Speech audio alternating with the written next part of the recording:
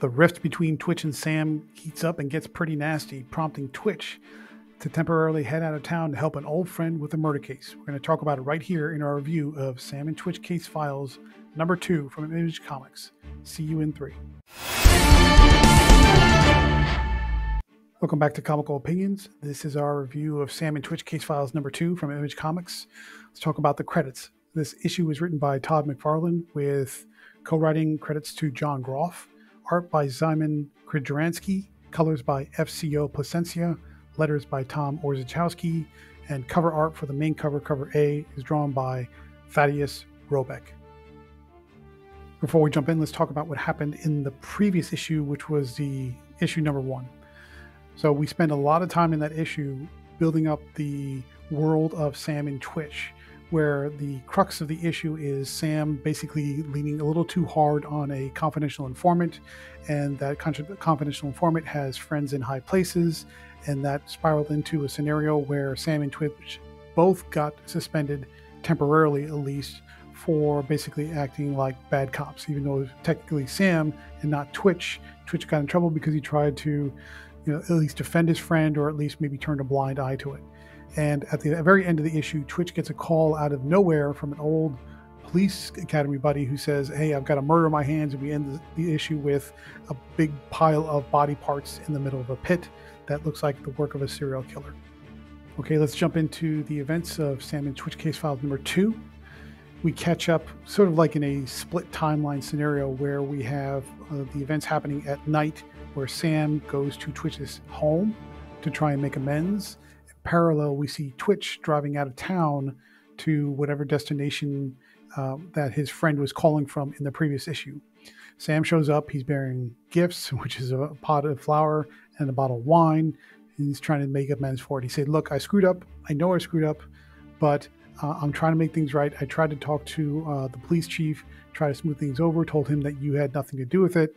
Twitch is listening, but sort of uh, skeptical about Sam's intentions. But when the conversation appears to be going down a similar path that it always goes down, which is Twitch just saying okay and going along with it, suddenly, Snappo, Helen's wife, who is standing nearby listening to the conversation, just goes off on Sam and say, "Look, if you're going to be a corrupt cop, that's your business. If you're going to burn down your career, that's your business.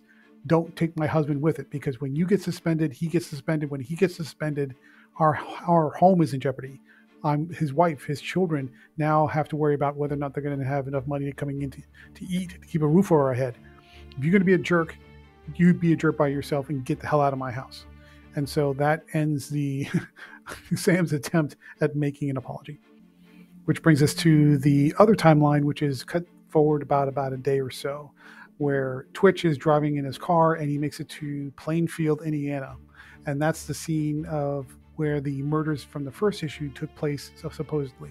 He drives to the police station and he says, Hey, I want to find uh, Detective Jim Tressel, who is the guy that he went to the police academy with.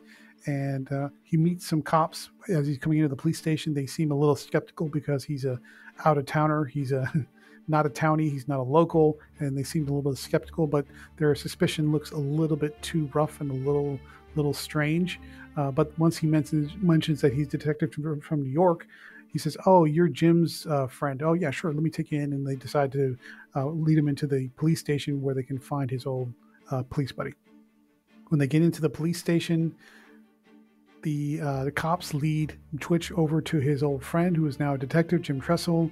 Their hugs and handshakes and making eye contact, and it's just like the years in between the police academy and now had never been there. So they're really buddy buddy, chummy chummy, catching up on old times.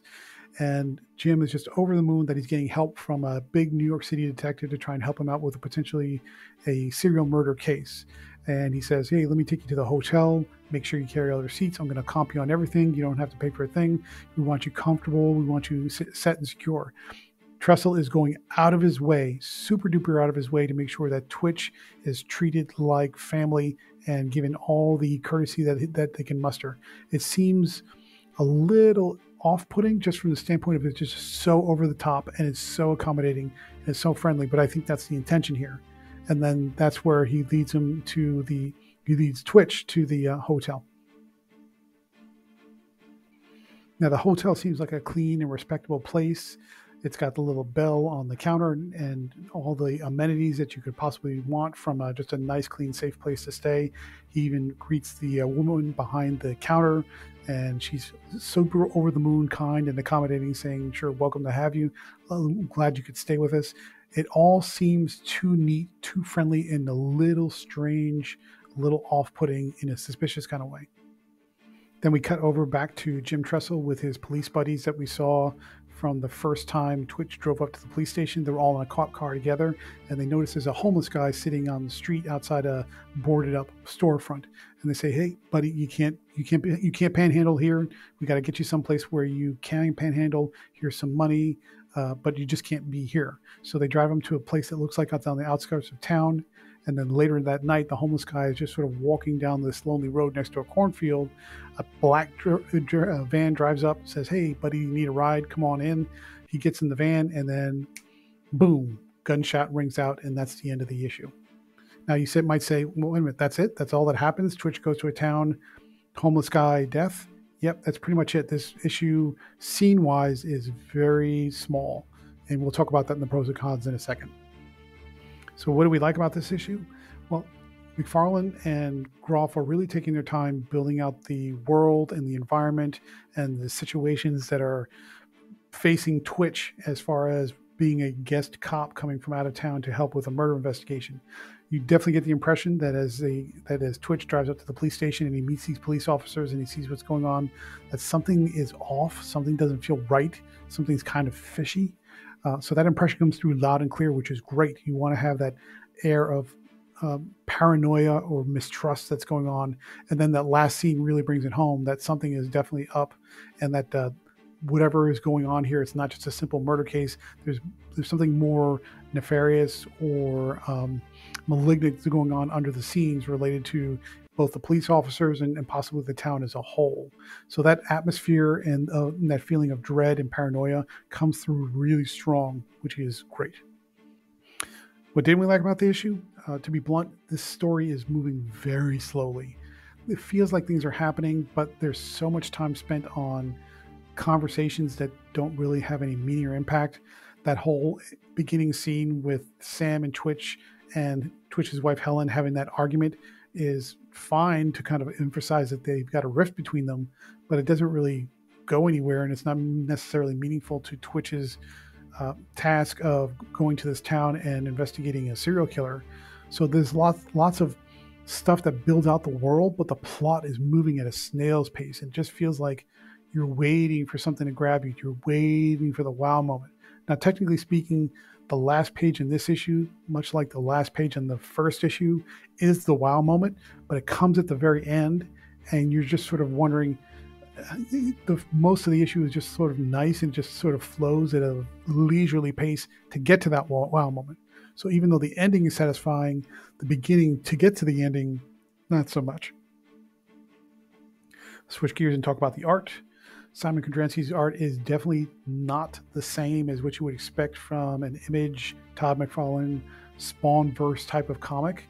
This is very much a um, photorealistic, grounded kind of story that you would see in in comics that might come out of, say, something from Scout or uh, maybe, hmm, yeah, Scout is the one that comes to mind. Maybe some of the smaller publishers like um, Second Sight or um, Source Point Press or may- maybe even um, Blood Moon, something like that. That's not to say that it's bad art necessarily. It's just very different. It's sort of photorealistic and definitely uses a lot of reference photography to get the art across. That's not necessarily a bad thing, but it doesn't feel like it belongs as part of the Spawnverse. Now, maybe that's the positive. Maybe that was the intention. But if you're saying, okay, is this this is Sam and Twitch from Spawn. You don't, you wouldn't know that at all from looking from at the art. You would think this is just some kind of indie comic about um, a serial killer or some kind of weird town that's that's um, that's harboring some kind of undercurrent, like maybe a cult or something. Uh, you wouldn't think this was related to Spawn in any stretch, and, and, Spawn definitely does not make a cameo in this. So, if you like referenced photo referenced art, art that looks very um, photorealistic and um, is does has nothing to do with the kind of the image style if you want to call it that, the image house style, then you're in good shape. If you're looking for something that makes this feel a little bit more or less connected to the Spawnverse, visually speaking, you don't get that here. So, what do we think about Sam and Twitch case files number two? Final thoughts. Uh, the mystery at its heart is intriguing, and the atmosphere of paranoia and distrust or mistrust that sort of bubbles underneath the surface of this town, which is Plainfield, Indiana, is, is, is very palpable. So if you want something that kind of puts you on edge and makes you kind of think that something's going on, and but it's hidden and you're not quite sure what to expect, this comic achieves that. On the downside, the pacing is dreadfully slow for the main plot. There's a lot of world building which is going on, which is not necessarily bad, but at some point the world has in the world building and the plot have to move together at a reasonable pace. There's too much world building, not enough plot pace, and it feels like you're just sort of listlessly floating down the river until you get to the last page, which has the wow moment. So, not quite sure if you're satisfied with that or not. For us, it didn't feel as satisfying as it could be. Therefore, we're going to give Sam and Twitch Case Files number two from Image Comics a 7 out of 10. The atmosphere is good, the art is good, although radically different from what you would expect from a Spawnverse comic, but the pacing is just dreadfully slow. And the plot needs to pick up, or at least to grab you uh, uh sooner in the issue rather than waiting for the very last page. But what do you think? Are you enjoying this series? Do you think uh, a, departure from the typical Spawn stuff is right up your alley and you were looking for something different?